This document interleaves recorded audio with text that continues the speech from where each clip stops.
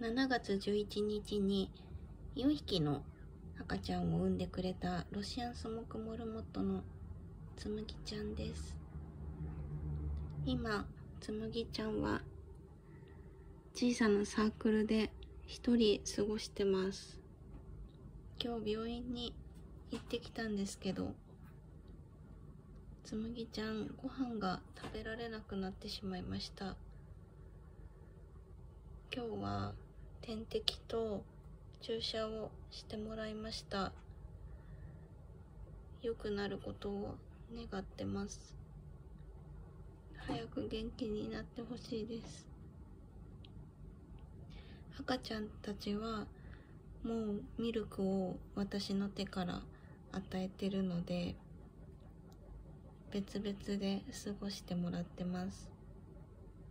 かわいそうですけど。ちょっとでもご飯を食べてくれたらなと思ってます。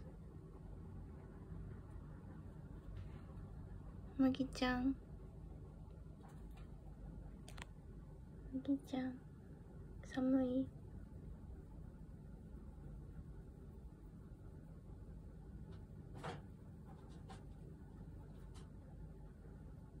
かわいい？